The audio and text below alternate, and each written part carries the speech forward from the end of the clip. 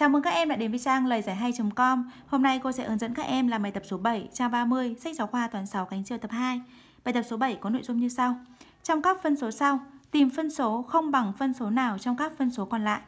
6 phần 25, âm 4 phần 50, âm 27 phần 54, âm 18 phần âm 75, 28 phần âm 56 Vậy thì để làm được bài tập số 7 này, trước tiên chúng ta phải rút gọn các phân số này về phân số tối giản. Sau đó chúng ta tìm các cặp phân số nào bằng nhau. Thì khi đấy chúng ta sẽ tìm được phân số mà không bằng phân số nào trong các phân số còn lại. Đầu tiên chúng ta sẽ rút gọn cho cô phân số 6 phần 25 nào. Ta có phân số 6 phần 25. Thì để rút gọn phân số về phân số tối giản thì trước tiên chúng ta phải tìm ước chung lớn nhất của cả tử và mẫu. Mà muốn tìm ước chung lớn nhất của tử và mẫu thì phải phân tích tử ra tử và mẫu ra thừa số nguyên tố thì ta có 6 này sẽ bằng 3 nhân với 2. Còn 25 thì lại bằng 5 mũ 2. Như vậy ở đây không có thừa số chung, thừa số nguyên tố chung đúng không? Như vậy từ đây suy ra được là ước chung lớn nhất của 6 phần 25. 6 và 25 này bằng 1. Vậy thì phân số này là phân số tối giản rồi. Chúng ta không phải rút gọn nữa. Tiếp theo các bạn rút gọn cho cô phân số là âm 4 phần 50. Thì đầu tiên chúng ta sẽ phân tích 4 và 50 ra thừa số nguyên tố. Thì ta có 4 chính bằng là 2 mũ 2 Còn 50 thì chính bằng 2 nhân với 25 Đúng chưa? 25 thì bằng 5 mũ 2 Như vậy bằng 2 nhân với 5 mũ 2 Ở đây thấy này, Có thừa số nguyên tố chung ở đây là 2 Số mũ nhỏ nhất của 2 chính là 2 mũ 1 như vậy, ước chung lớn nhất của 4 và 50 chính bằng 2 Vậy thì bây giờ muốn rút gọn cái phân số này, Chúng ta sẽ chia cả tử và mẫu cho 2 ta được âm 4 chia cho 2 trên 50 chia cho 2. Âm 4 chia cho 2 thì bằng âm 2. 50 mà chia cho 2 thì bằng 25. Rồi rút gọn phân số tiếp theo cho cô. Âm 27 phần 54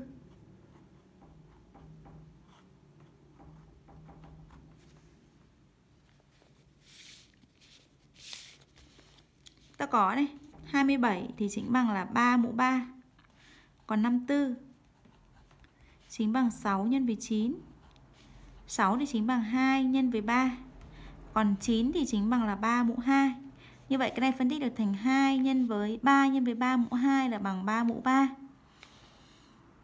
như vậy từ đây thấy được rằng là Thừa số nguyên tố chung ở đây là bằng 3 Mũ nhỏ nhất là bằng 3 mũ 3 đúng không? Như vậy từ đây chia được là ước chung lớn nhất của 27 và 54 chính bằng là 3 mũ 3 và bằng 27 luôn. Đây chính bằng 3 mũ 3 và bằng 27.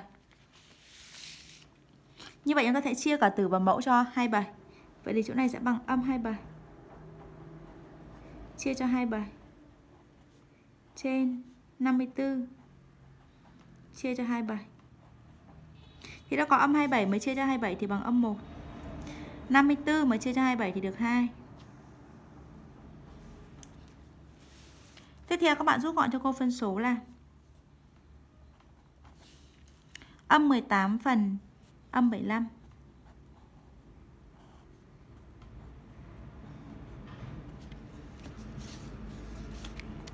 Bây giờ chúng ta đi phân tích 18 và 75 này ra thừa số nguyên tố này.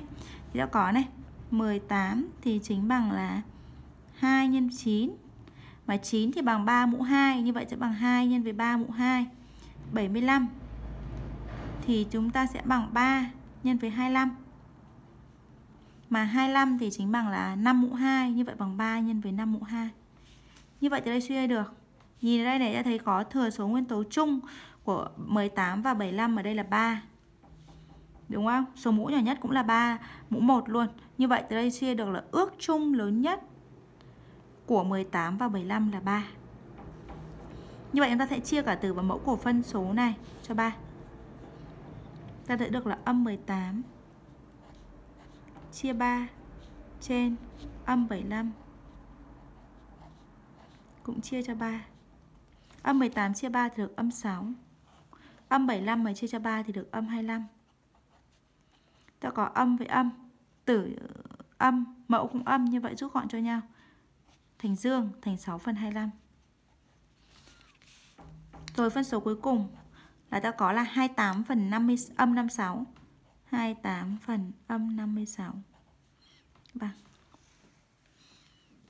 Chúng ta phân tích 28 và 56 ta thử số nguyên tố cho cô thì ta có 28 sẽ bằng 4 nhân với 7 sẽ bằng 2 mũ 2 nhân với 7. Tiếp theo 56. 56 sẽ bằng 7 nhân với 8. Và 8 thì bằng 2 mũ 3 đúng không? Như vậy sẽ bằng 2 mũ 3 nhân với 7. Như vậy ta chưa thấy này, có thừa số nguyên tố chung ở đây là 2 này và 7 này. 2 mũ 2 với 2 mũ 3 thì số mũ nhỏ nhất là 2 mũ 2 đúng không? Lấy 2 mũ 2. 7 thì số mũ nhất là 1 rồi. Như vậy ta sẽ có chỗ này sẽ bằng là 4 nhân với 7 và bằng 28. Vậy thì ước chung lớn nhất của 28 và 56 chính bằng 28. Vậy để rút gọn phân số này chúng ta sẽ chia cả tử và mẫu cho 28. Ta sẽ có 28 chia cho 28 trên âm 56 chia cho 28. Này sẽ bằng 28 chia 28 thì được 1. Âm 56 mà chia cho 28 thì được 2. Âm 2. Tiếp theo các bạn đặt số trừ lên tử cho cô thì ta sẽ được là âm 1 phần 2. Rồi bây giờ các bạn quan sát vào các phân số đã được rút gọn.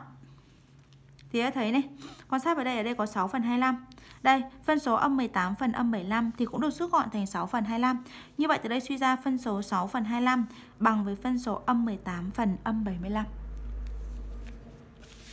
Như vậy chúng ta suy ra được 6 phần 25 bằng với phân số âm 18 phần âm 75.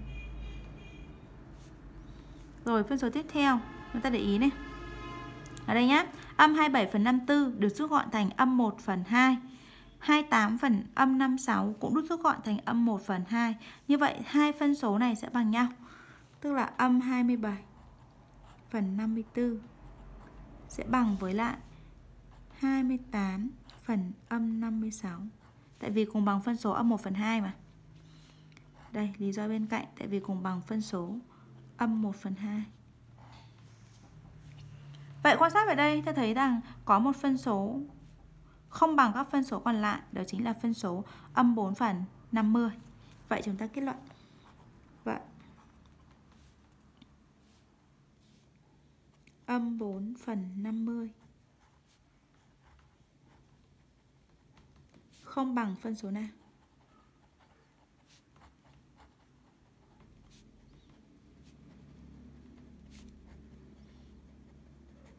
Trong các phân số còn lại.